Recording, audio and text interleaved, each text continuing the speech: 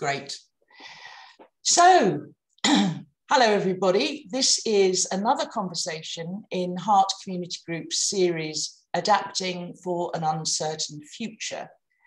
Uh, and you can find all our other conversations on our YouTube channel. Um, um, but tonight I'm delighted to welcome Stuart, Stuart Smith, who I got to know a little bit via the Deep Adaptation Forum. And Stuart is one of the moderators who do, does such a fabulous job on the Facebook uh, group there. Um, and uh, so, Stuart, thank you so much for your time. Welcome. Thank you, Kimberly, for the invite. Um, thanks for so many faces to turn up and listen to what I've got to say. Hopefully, there's a one or two nuggets of wisdom amongst all of this. Um, as Kimberly said, I've been uh, moderating the Deep Adaptation Facebook group uh, for about three years now. I was a member for about a year prior to the invite to the moderation team. So um, prior to that, I thought I was well ahead of the, the curve with regards climate change, um, which figured into our move to Italy um, about eight and a half years ago. Once I found Jem's paper, I realised I was way way behind the curve, um, and I've done a lot of learning since, uh, thanks to all the lovely people over at Deep Adaptation. Um, Kimberly's asked me to put a few photos together, which uh, maybe gives you all a bit of background as to where I am and what we're doing, and then I guess we'll go into a, a bit of a chat. Um, yeah. Yeah, if you could just take about a max 10 minutes with the photos, because I'm keen to kind of ask you some questions as well. But yeah, show us show us where you live and uh, where you live now. No problem. I'll I'll whistle through them. Um, there's a two or three dozen, but um, we can come back and talk about them in more detail. So can everybody see um, our countryside, our house? Great. So um, we're in northern Tuscany, um, what I like to call the real Tuscany. Um, it's a more affordable part of Tuscany. So there's no tourism around here to speak of, um, which made it affordable for us coming from a three bed mid terrace in England. Um, we moved here for a number of reasons, one of which was to, to try and tread a bit more lightly on the, on the planet, reduce our footprint and live a bit, a bit more of a natural life really um, in harmony with nature.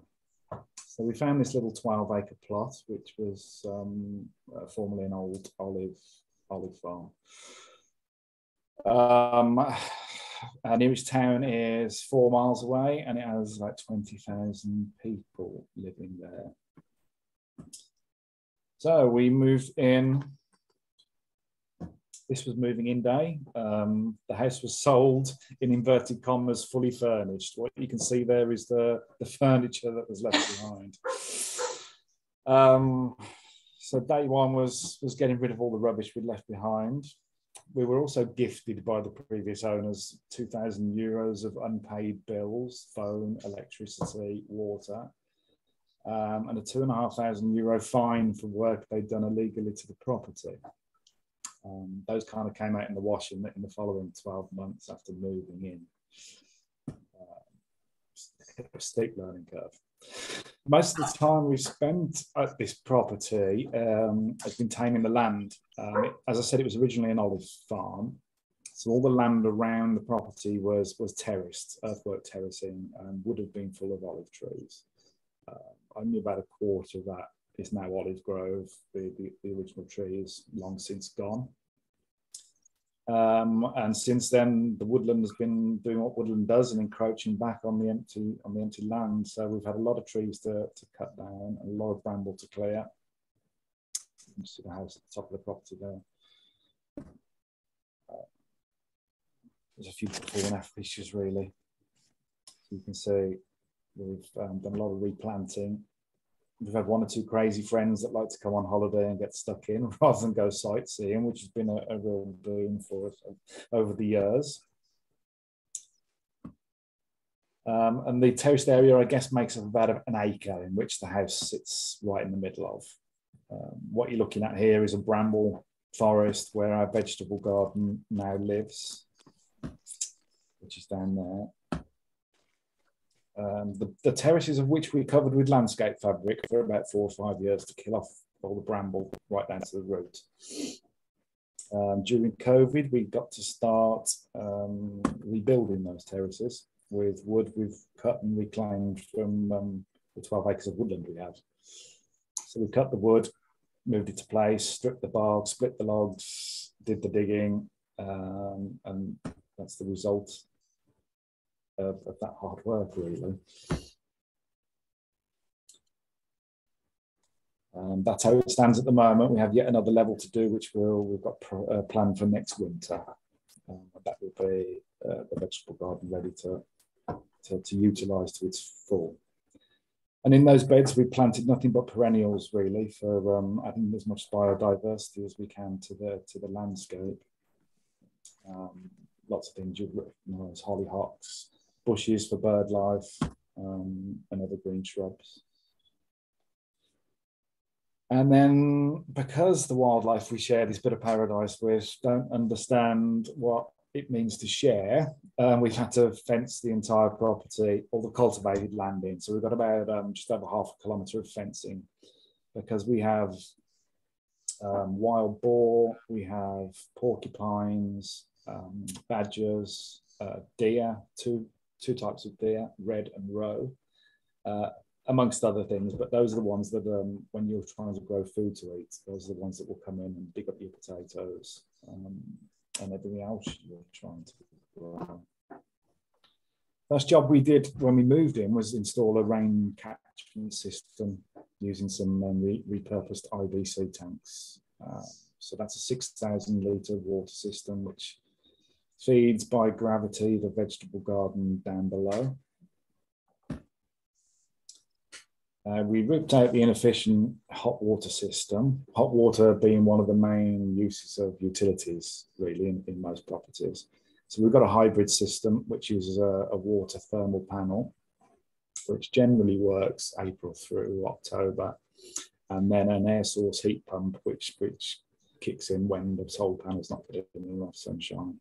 So that gives us a 300 litre hot water supply 12 months of the year without interruption. A fantastic system. I went with the recommendation of the plumber that I, would never met before. Um, glad I did because it's um, it's phenomenal.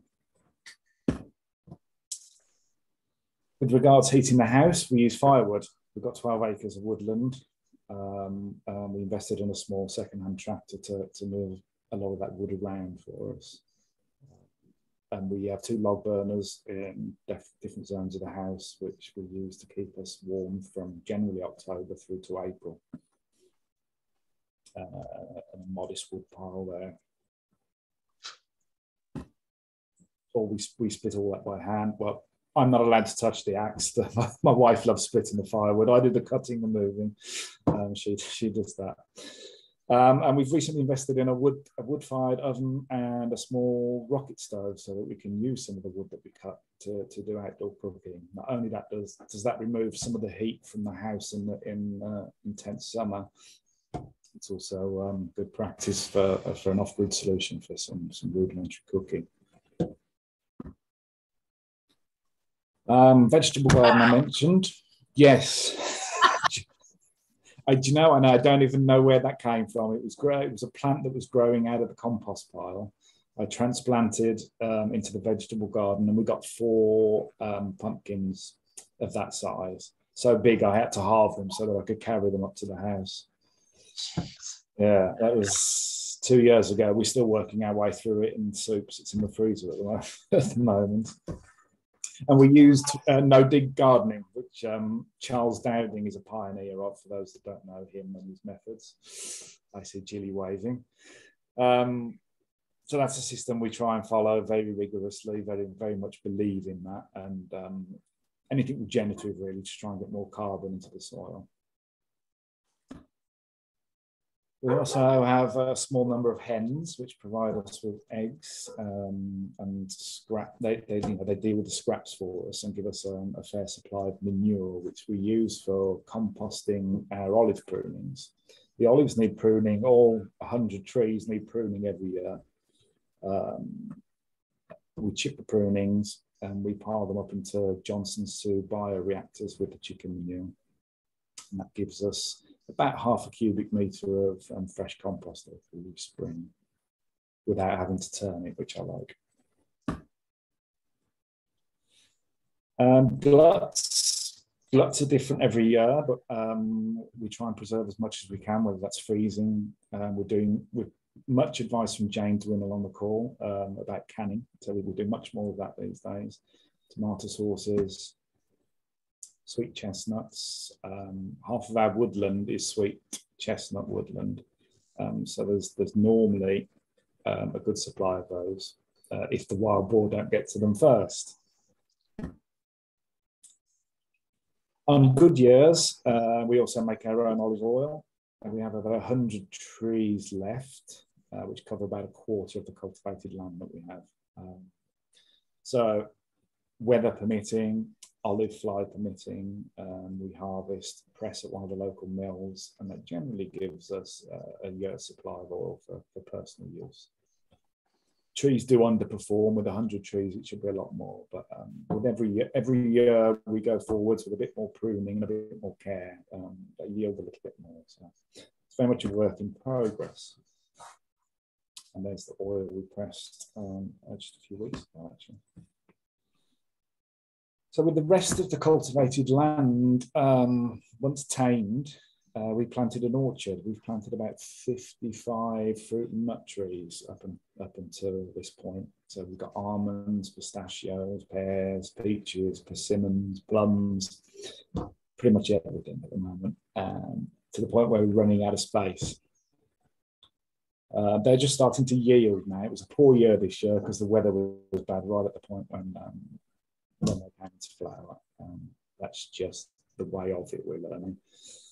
Um, but as time goes by, they should yield at least some trees. Some of the years will give us a few, a good few kilos of fruit, um, way more than we can eat. And following kind of permaculture principles, grow as much as you can so you can give some away. So um, long-term thinking is about that for us.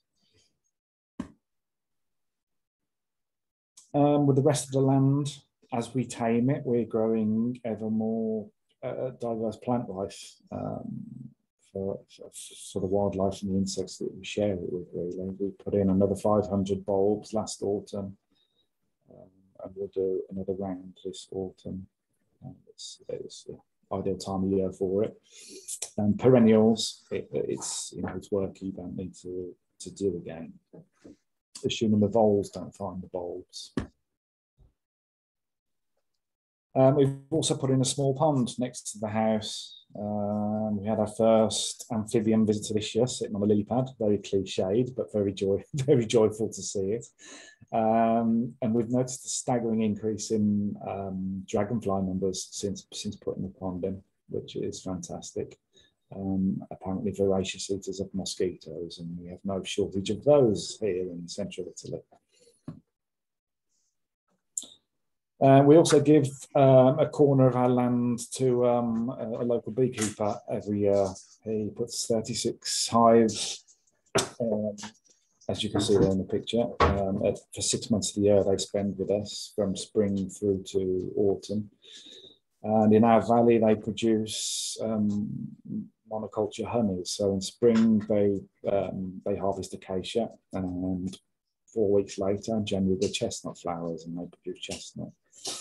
So he takes those away, harvests the honey, and pays us um, royally with um, way more honey than we could ever eat. So again, we gift or we sell um, small amounts of that. We end up normally with about two, do two dozen jars of honey over and above what we can possibly eat. So it's a nice little setup. It's a corner of land we don't use. It keeps the grass down.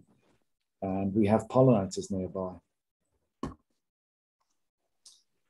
Um, we're also getting into um, soil food web research, and now I now have a microscope to play with. We have a small wormery for producing castings, um, and the appropriate kit for producing um, actively aerated compost teas to, to, to, boost microbial soil life in, in vegetable beds.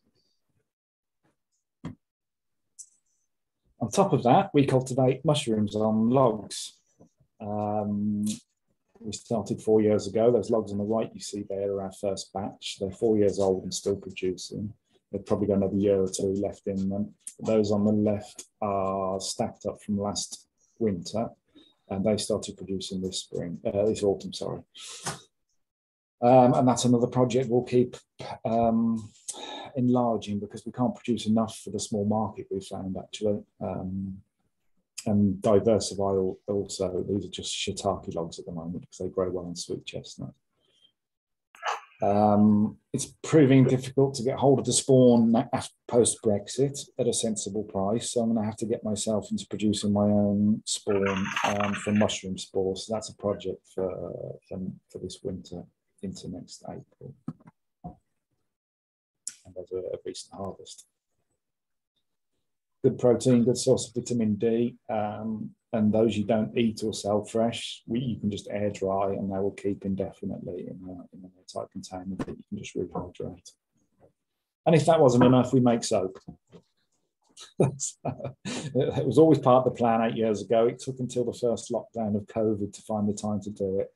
Um, so again, we, we make a small amount to sell. Um, we gift a fair amount as well and, and we it keeps us in free soap for the year.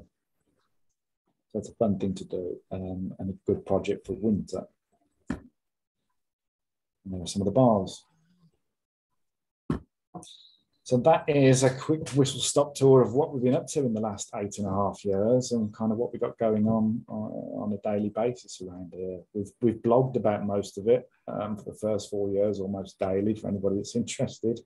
Um, and I'm here to, to talk about it for anybody that has any questions.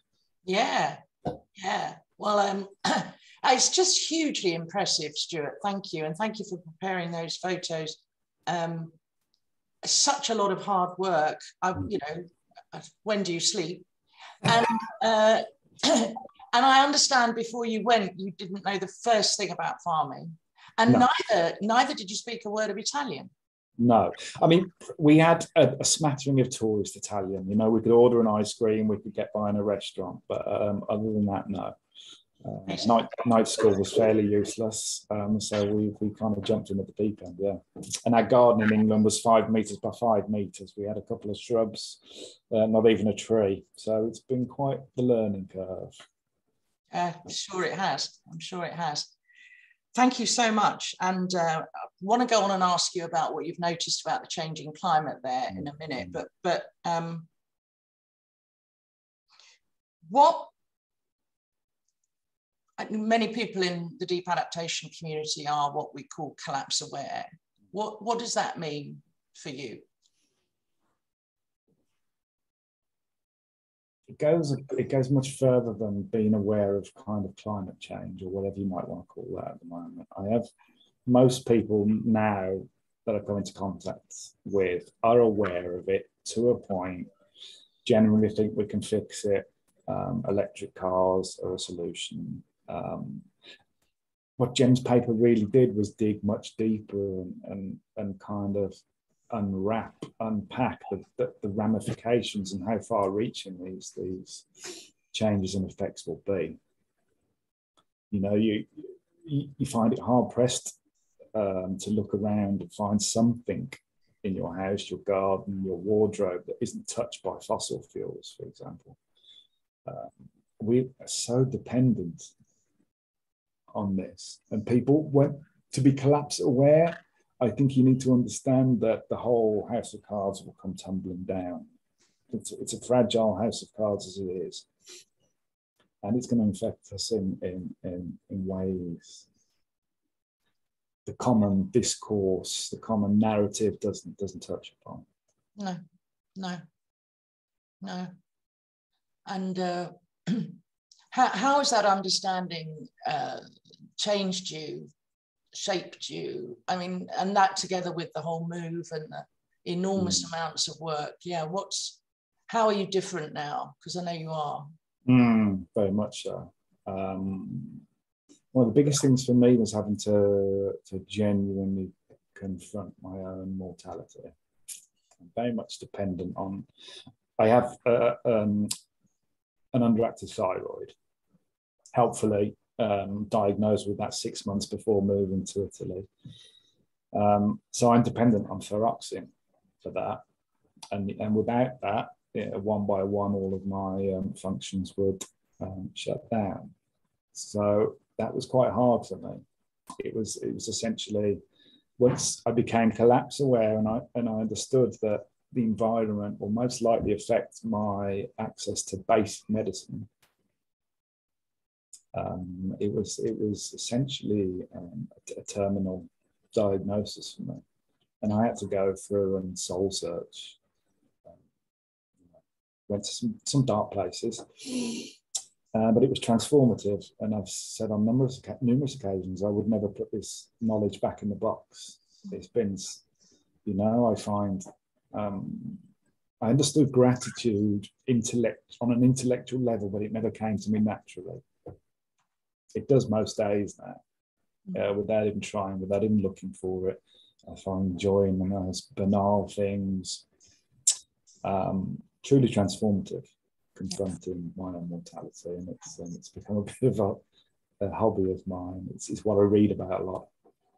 Yeah, it's been quite a spiritual journey for me. Yeah, yeah, I can imagine. And um, I know I've heard you talk before about the, the shift from anthropocentrism to ecocentrism, and that you're, you're, you no longer see yourself as owning that land or using the land so much. Talk about that a bit. No, just um, I'm very aware that I, I share this piece of land with um, a myriad of, of life forms um, all of which are necessary for me to, to live well. An important part of my DA journey and getting my head around uh, the mess we were in was understanding my um, scope of agency, where uh, where to stop worrying about things. And it soon became quite clear to me that um, this this little bit of land we live on, um, according to Italian law, own, um, it's all within my scope of agency, and, and, and anything that lives on that, I have the power to, to to get up one morning and try and improve the lives of hundreds. You know, um, just by considering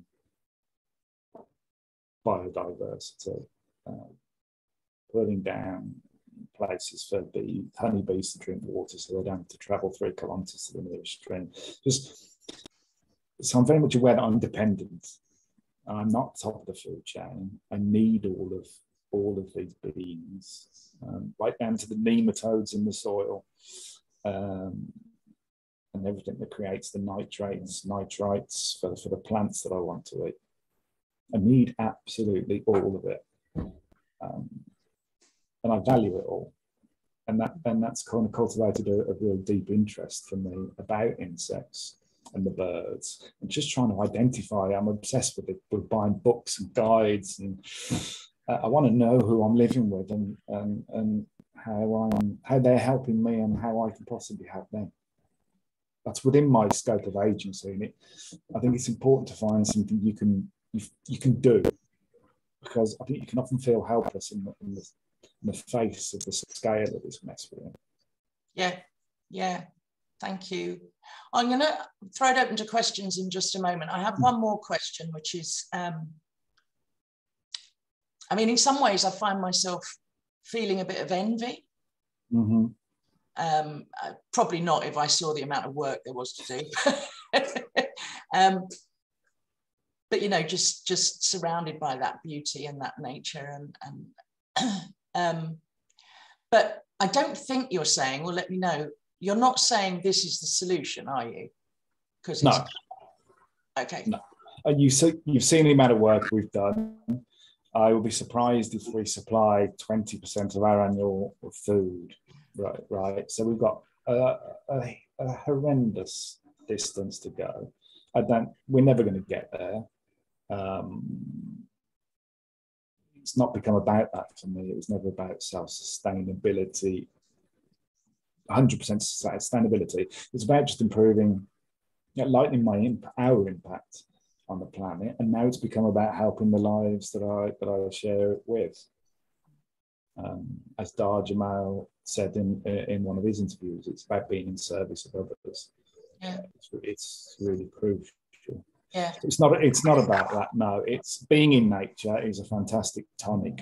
Uh, I wouldn't have wanted to be anywhere else um, as I went through um, my journey of collapse awareness. Yeah, yeah. Yeah, and I, I, remember being shocked when I first heard you talk about how, you know, in a sense, how little food you produce on that much land, um, and and, but even if it, even if you were 100% self-sufficient in food, that that's, you know, it's still not a solution for the other no. eight billion. No. no, and I'm, and, you know, I said we live we live near a town of twenty thousand, so it wouldn't take long for people to find out when they were hungry where to go and get some food. You know, it's not a solution. What I do see as more important is trying to develop some kind of best practice because it may be the case that all of a sudden, in a very short period of time, everybody says, "Oh shit, we need to think about where our food comes from." And rather than have to learn, spend eight years learning like I've done so far, they can come here and poke at things, touch things, ask the questions, and go away and implement this stuff. You know, I'm um, I'm reading about desert gardening and trying to use clay irrigation pots. I'm, I'm setting up a system for that for next year. So I'm constantly trying to get ahead of, of that curve at least. Yeah. So if, if I can if I can get some best practice implemented here that people nearby can come and look at, brilliant. Then, then I've done my job. Yeah, no, that's really great. And I know you've been having having very bad wildfires this mm. this this summer. Um, I remember seeing some photos of them, absolutely shocking, like very mm. nearby you. Mm. Um, and and so you can see the climate changing. Yes, yes. I mean, this summer was extreme. Um, I mean, we live amongst woodlands. We're in the in the foothills of the Apennines, so it's not uncommon to hear tre- trees fall over and snap after excessive rain or after a, a, a heavy, you know, strong winds. You know, it's kind of violent weather. It's normal. It's, it's formed part of the cycle of it for, for forever. What we haven't been used to is on hot summer days where there isn't even the slightest breeze, the trees just falling over unprovoked, unprovoked, you know, um, extreme drought, extreme heat stress. Um, really, really unnerving, really, really unsettling. That combined with um, a very, a very large wildfire this winter. Yeah, yeah. Kind of grounds you, keeps you grounded and brings you back. Thank you. Thank you very much. So, absolutely fascinating and um, oh, so so much in there to explore. Hands up if you have a question for Stuart, and then you'll unmute yourself. Martha first, then Jane. Hello, Stuart. It's lovely to meet you, and thank you for doing this. Um, Thanks, Martha.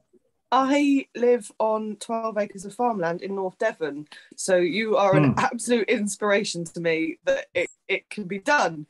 Um, I'm just wondering, what was the moment that you or your partner when we've got to do it and we've got to do it now like what what changed in you? And part b how do you keep that motivation when you've got so many big projects? Mm-hmm. two good questions. Uh, the first one's a little trickier to answer. We kind of talked as many many people do wouldn't it be nice wouldn't it be nice to get off the treadmill wouldn't it be nice wouldn't it um, we got to the point where we were, we were like, right, we're in a position now. Kids are at university. Um, we could probably make it work financially. Moving to a country like Italy from the UK gives you a bit of extra money to work with. Um, so it was a kind of now or never thing, really. We happened to bump into a guy, an English guy in the area that was um, selling property. That's how he was making some money. Uh, one glass of wine led to three. Um, and you know, we, we left that holiday and said, right, we'll be back in August. You line us up some houses and, and we'll go house shopping. So it was kind of a snap decision. I think all the groundwork had been put in before that. Helen was tied with golden handcuffs in the publishing industry to uh, to being where she was in a job she was particularly enjoying. Um, so, so, it was just a combination of things that all all led up to that point and making that kind of snap decision. Really, yeah, you get to the point where you have to jump off the springboard because you can't you can't plan everything, and the leap's the hardest part. Um, how do we stay motivated? Motivation goes up and down quite a lot. Um, I find, and I'm getting better at allowing that to happen and not beating myself up about it. You know, I, I've got a very Western mentality still, and I feel guilty if I'm sat down doing nothing for very long. Um, I'm getting much better at self care and allowing myself some time to uh, just recover, relax, think about other projects and I, I know now I have faith that my, my motivation comes back and generally quicker if I'm not beating myself up about it. I find new projects interesting. I'm about to, I've just set up a wood shop, uh, a little workshop outside. So I'm about to start wood turning on a lathe. So that's something else to keep me, just in case I didn't have enough plates in the air. You know, I, we've got wood, a few tools. Why not? Um, I'm constantly trying to think of ideas. Um, where we can use the resources we have to, to, to help, you know. So change. Do you know? Do you know what the seasons help? The seasons, yeah. are, the seasons are massive because by the time you get to the end of one season, you've just had enough of one type of activity, and you're looking forward to the next one. So living here in in this context where you have to live with the seasons, uh, it generally sorts my motivation out for me I don't know if that makes sense. No, that does make a lot of sense. And I think I might take a leaf out of your book and uh, try and apply new projects because I do find as well that I get really bogged down in one big thing and you just get a bit tunnel vision. And actually, maybe you're right. And if I diversify slightly, it will keep my motivation up for everything. Thank you. Yeah. Variety is key, I would say um, because then I can flip back between different things. When I get bored of one thing, I can go, you know, I've got half a dozen projects every season, so and I can flip between. That, that generally picks me up. I need you need something else that you can get stuck into when you bog down with something else. Mm-hmm. Thank you, thank you, Martha. Thanks, Stuart. Jane, did you have something? Do you want to come in? Are you there, Jane? Mm -hmm. Okay, well, maybe she'll come back. Who else has got something? Ray. Ray and Jilly, I can see. Ray and Jilly. Yeah, I'm, I'm fascinated by um, regenerative farming at the moment. And I've heard a speaker saying, I get up in the morning and uh, with a great sense of excitement at what I might learn about nature today he's doing what you've been doing, trying to understand the whole of the natural world around him. Um, and I just don't know how far this might take him or the rest of. He's trying to turn other farmers around and convert them to doing regenerative. But I don't, I have no idea because I'm not, I have no connection with agriculture really, um, how far this might go or can go. Mm. Have you got any thoughts? Time will be crucial. Um, it seems like things are unraveling quicker and quicker. Um, the problem is, regener- I don't see how well you can regener- regeneratively farm in a big ag manner because it generally destroys everything it touches the mm. soil and the life within it. So I see it as something for, for smaller scale farms. I also see smaller scale farms as being a, a key part of making more resilient communities. Um, and I don't think it will take much for many people to switch on and think, right, I've got a garden, I've got a bit of space. Um, but that's, that involves lots of people doing lots of lots of farming. Um, it's I'm becoming better at doing things without attaching an outcome to them, right? I think. Um, for my own sanity. I do them because they're right to do, because it's the best thing to do. And I, I kind of let the results sort themselves out because I can't possibly, I have absolutely no idea how much time we've got left. Uh, I mean, it's a problem I don't see we can fix, if, if I'm honest. Um, things do seem to be that bad. But um, I'm not what uh, the Michael Manns of this world would, would classify as a doomer. I don't just um, navel gaze and do nothing about it. You can see I'm quite busy. Despite my bleak outlook, um, I, I, I, spend all my days, every day, um, trying to improve things for everybody and everything around. Yeah. Yeah. Thank you, Ray. Julie. Um, huge respect, Stuart. I grow vegetables and and um, wow, the, the, harvesting and processing is a huge job. And I notice you have some um, houses near you. Do how do you involve the local community? Um, and are those houses have, have they got people in who come and sort of work with you collectively collaboratively and then you give them things in exchange? As it would have been i guess 100 200 years ago in that area. As it would have been yes. Um, our, our immediate neighbours um, number three properties um, all of whom are local italian families um, we know them well we we socialize with them well we have a great relationship uh, but none of them are, are far from collapse aware um, climate issues aren't really on their radar either. Mm. But they have, um, Italy is still a very rural agricultural country. Um, um, so they, they all grow a little bit of something. Um, they're all planting trees. Um, it's just kind of part of their nature. They're not so detached from it as we are in, in the West. Mm. and I hope don't have so far to fall because of that. So collaboratively, not a lot. We we try and gift, as I said, we gift a lot of what we produce to neighbours, hoping that will be of some inspiration when the penny drops and they go, ah, hmm. they know how to do that, or they've got this.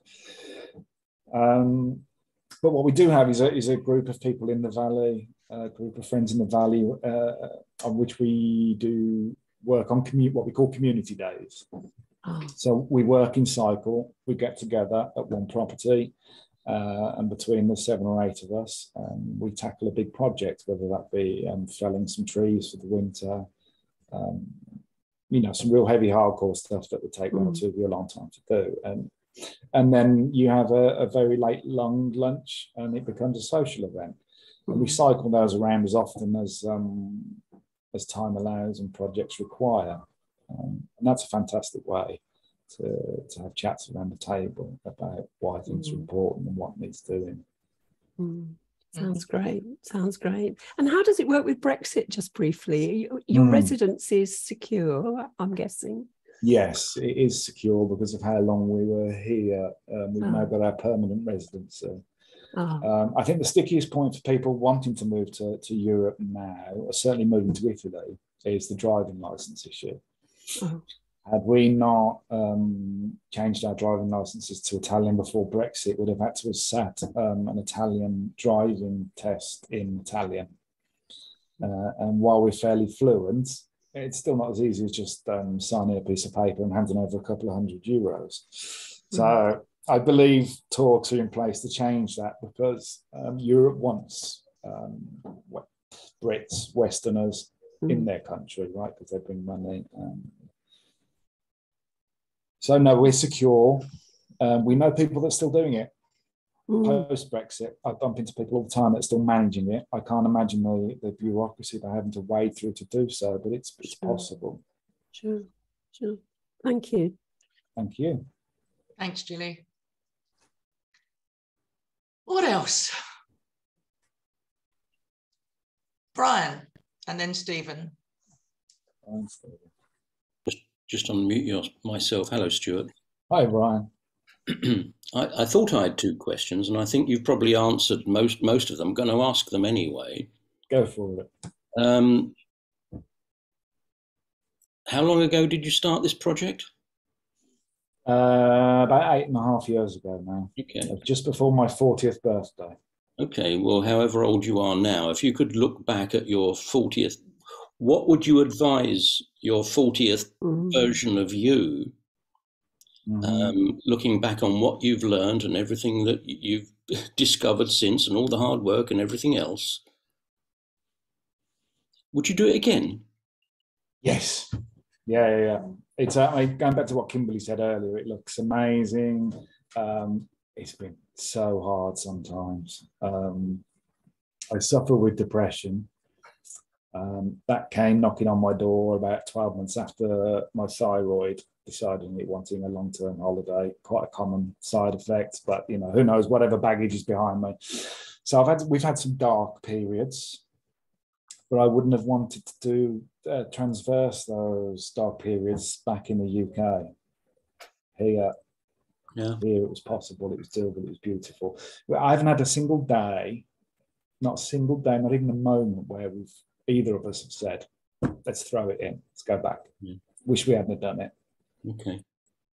Well, that's Um, well, that's yeah, no, absolutely. My what I would say to my forty-year-old self is try not to finish everything because you're not going to. You know, I came here with grand ideas and wanted. I had a vision for what I wanted. Um, as always has been the way in my life. Um, that vision never quite um, appears, but something better comes out out of the wreckage. Um, so just don't try and finish everything. I was working crazy, crazy um, at the first couple of years, thinking I could get everything done. Mm. It's a work in progress. Be a bit kinder to yourself. When the motivation isn't there, don't don't sweat it. It will come back. Yeah. Yeah. Well. Thank you for that. There was a second question, but I can't remember what it was. Well, if you remember, come back. Hey, thanks, Brian. Stephen, Yeah, uh, thank you, Stuart. Really lovely to to hear you and your connection and what this has brought to you and to others. Um, I'm just wondering, in terms of what we know about climate, you know, you've moved further south, whereas Mm. I suppose I would have thought, you know, it would it, it would make more sense to, to move further north. Yeah. Um, so I'm just wondering, you know, your thoughts around that. For, for for other people, obviously, you're there now, and you're, but yeah. yes, we've rolled our dice now, and we're in this for the for the until the ride stops. This is where we are. This is where it finishes.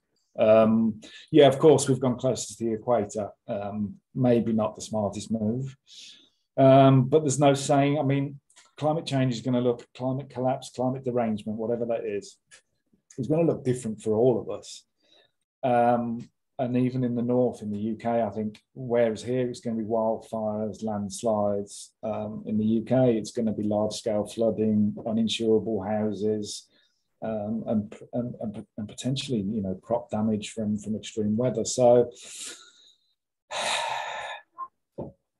I can't second guess this. I'm not bright enough. Um, it's also too late. We're just have to see how it goes, and I've got to think about um, what Plan B and C is. You know, we've got our after the fire this year, we've got our bug out bag sorted, so I know we can leave should we need to. Um, I know I can water the vegetables should I need to. I know where our nearest water sources. Uh, as for the rest of it, I'm going to have to work. I'm just going to have to fumble my way through it as it happens, Steve, and just hope it doesn't happen too quickly. Okay, thank you. Thank you. thank you. Martha. Martha's always, Honestly, I'm sorry. Always greedy with her questions, which is fine. No, it's I'm so sorry. I could monopolize your time for hours. I'm just so constantly swamped by things to focus on. But I've just come to mind that you are a lot of your land is on a quite steep slopes, and I saw the terracing that you've put in place. Yeah. Um, water management. I don't know what it's like where you are, but do you have like heavily rainy seasons, and how do you manage the water that comes down the hill around the house? You know, not to flood things out do you gullies? Do you collect it? Do you have land drain? Yeah, a bit of everything. I mean, the, the soil, um, fortunately, um, seems to drain very well. So we've never had. I mean, landslides are quite common around here in this valley when when the rain does come down. Fortunately, we've not had any. It's also an important consideration for getting more organic material into the soil, right? So it can absorb much more of that. Uh, the house has gully drain, French drain. Um, that was put in when the house was built four or five hundred years ago. Who knows when that was? Um, water from the roof we take off and collect in systems.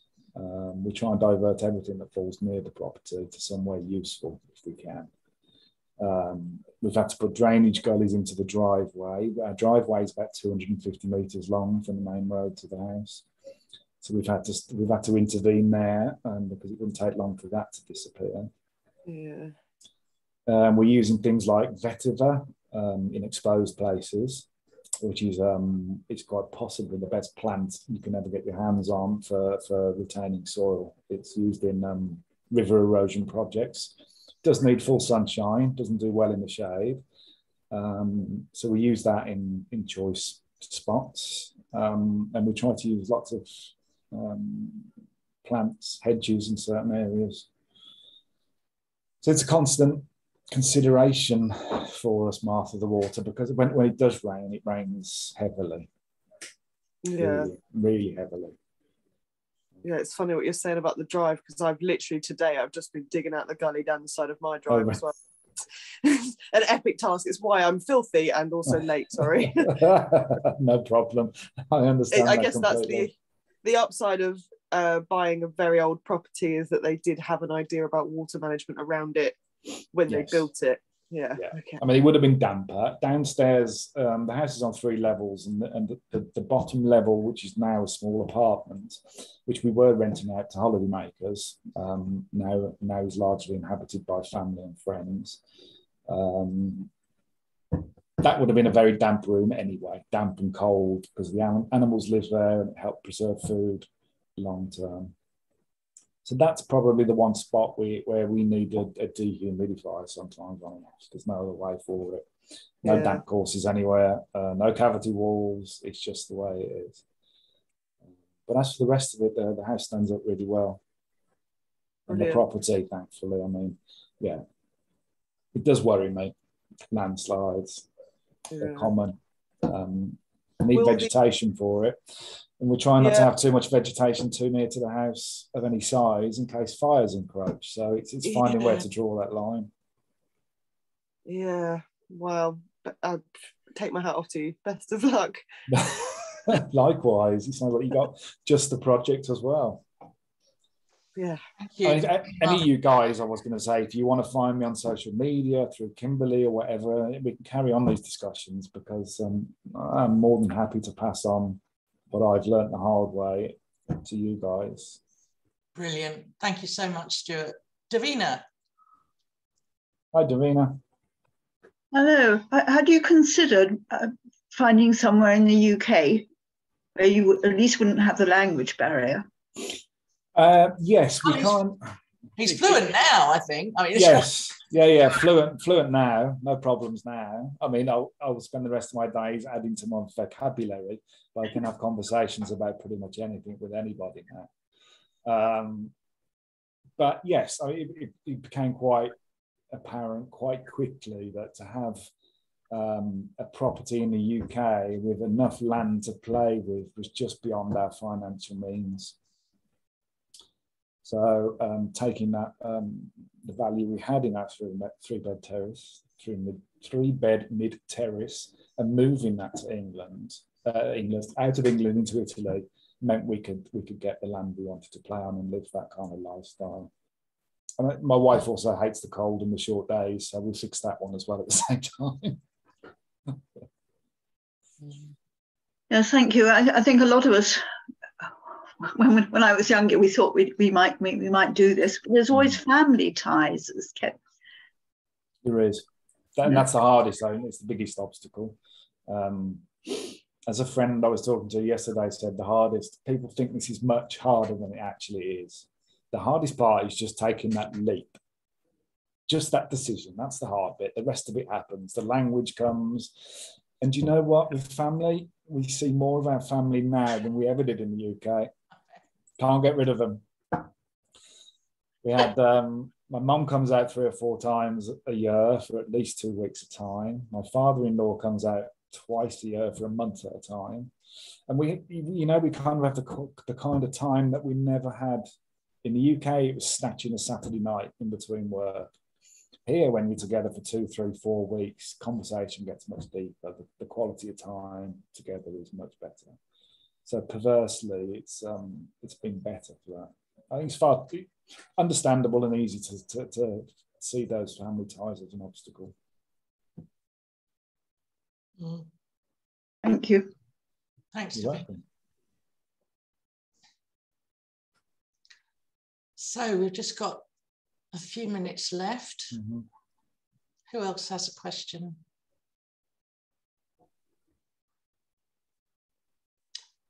Or just something you wanted to share? Oh. Stephen and then Ray.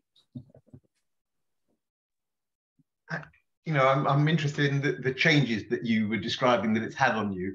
So, yeah, how can you say a bit more about, yeah, just how this change of lifestyle has changed you as a person? Mm. I um, I've become I'm very happy in my own company. I don't need other people around. But I noticed I I really thrive, really I felt nourished from from being around other people, you know, small groups at the local bar, at a dinner table with friends. I really noticed I appreciated it much more than I, than I ever did before. Um, an absurd example. Uh, uh, my neighbour called me Saturday morning and said, "By any chance, are you around? I've got some trees I need to cut down. They're going to fall into the road. I need somebody to stop the cars, help me clear up." I said, "No problem. I'll be down." Um, and we couldn't work for cars stopping to talk to me. And my neighbour said to me, I've been here for 40 years. You know more people than me. You should run for Sindaco. You should run for the mayor. Everybody seems to like you. And I have just become this person, this gregarious, um, looking for contacts, looking for to, to find out who's who, who does what. Um, it's also part of, uh, of, being a resilient community, right? I think um, we're too too used to being independent, seemingly independent. The money that we earn in the West means we can ship our dependency off to, to other shores. We don't feel we need other people because we can buy the stuff we need. So I'm looking to create dependency again by being helpful to anybody and everybody. I say yes to, to, to far too many things, but it means I'm, I'm getting really quite deeply into the community. Um, and I really like it. And it's a good medicine for me also, Stephen, to to to talk to these people also in a different way than before. It's it's not so shallow. I listen more, and I want to know what other people want out of life. I'm still I'm still fumbling my way through this myself also right it's um, I've only I've only come to this myself the last three or four years so um, I've got a lot to learn which changed me in profound ways and all for the better, all of them. Ray. Yeah, I, am absolutely fascinated also by the this the social thing, people's need to communicate more. But I, my question was one you won't be able to answer, but I'd be interested in a couple of thoughts. Mm-hmm. it was only today, I think, that I read that the government has just approved the production of meat in the laboratory from cells of chickens, something along those lines. So I, I'm I'm always interested in alternatives to agriculture, and I wonder what you think about the laboratory approach to meat production. I think it's a temporary stepping stone, uh, really. Um, I think if it helps devout meat eaters realize there is an alternative, then that's great. Because for a lot of people, uh, the idea of just cutting meat meat out of the diet or reducing it right down is just um, unapproachable. You can't, you just can't go there with people. So I think if it helps people substitute some of that agriculture, which we all know is a, is a massive contributor to, to, to greenhouse gases, if it helps that in the meantime, but it's not the solution. The solution is just stop eating it altogether. Eat the plants, right? Just get over it. Eat the plants. The plants are good for you. Um, it's not a solution, but it's, it's helpful, I think, right?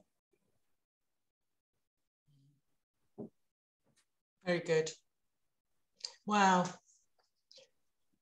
Oh, That flew by, didn't it, Kim? It did. It really did. Yeah. Wish we had another hour now. Anyway, um, thank you so much, Stuart, and everybody. Um, is, is, there anything you'd like to just kind of share with us as we say au revoir here, Stuart? Um, I mean, you've said so much already that is so rich. Mm, mm. Yeah, I think just just an important thing I'm coming to the, the awareness of lately is just to be a bit kinder to yourselves. We're not going to get it all done. We're not going to find fixes. Just be kinder to yourselves a little bit, you know, take the time out and don't feel bad if you've got the time to take out and do the things you enjoy that makes you feel good. Read that book rather than check your email, you know. Just be, just be a bit kinder to yourselves because it's we haven't got, we never had long left. As our wise friend John Doyle said to me in a conversation, well, oh, today is all we've ever had. Yeah. Yeah. Today's all we've ever had. There's, there's, there's no saying, I'll open my eyelids tomorrow morning. So just be kind to yourselves and take a bit. Find find a better balance. Not the balance that the West wants us to have, which is completely warped and, and, and only benefits the people making a mess of the world. Take that time out, make it work, find it, find the solution. This was our solution. You know, we get by on um, Helen's. Helen is generally the only person here that earns money, um, and she only does that on a part-time basis for six months of the year. Life's wonderful. Stuart, thank you so much everybody, if you want to unmute yourself, I will post the recording uh, and let you all have the link to that. Uh, and deeply appreciative, Stuart. Hmm. Um, so yeah, everybody just just say thank you and goodbye. Thank you. Thanks, thank you. Thanks a. Bye bye. Thank you, Thank you. Nice to see you again.